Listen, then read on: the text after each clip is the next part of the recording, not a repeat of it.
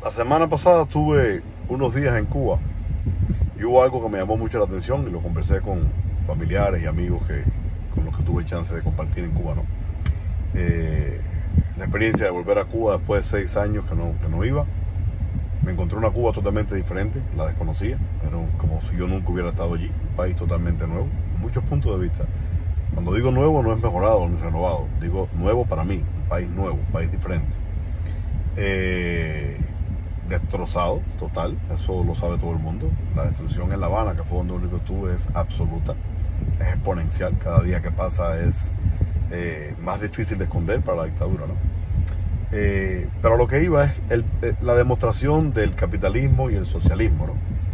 Ahí mismo en La Habana, me imagino que en el resto del país sea igual, pero ahí mismo en La Habana se le puede demostrar a los cubanos que el único servicio de transporte que vale la pena, que es seguro y te brinda un plan digno, es el servicio de transporte privado.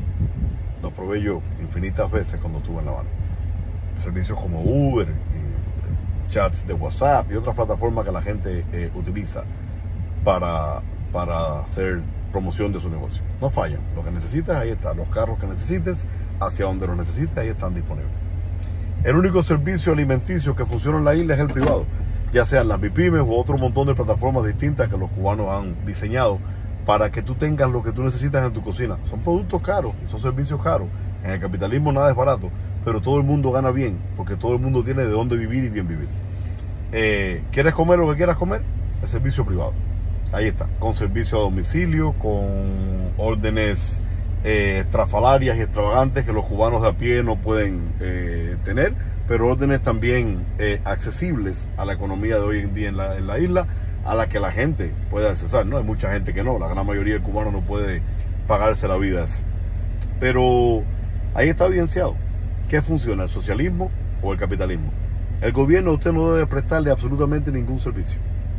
Si los servicios que tú recibes son únicos exclusivamente del gobierno, entonces tú vives en una dictadura. Ningún servicio porque no hay competencia, porque el gobierno no compite contra el gobierno. Entonces tienes que aceptar lo que hay.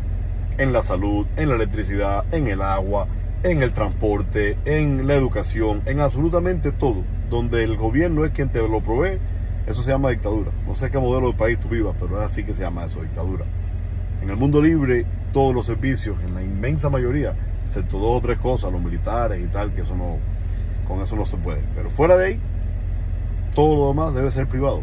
Todo lo demás debe ser una oportunidad de negocio para alguien y todo lo demás debe generar un sentido de competencia para que el producto o el servicio mejore. Entonces está claro, dentro de la misma isla comunista, que lo único que funciona es el capitalismo. Eso es inevitable, es lo único que da prosperidad y sobre todo lo único que respalda la libertad. No te dejes engañar, cubano.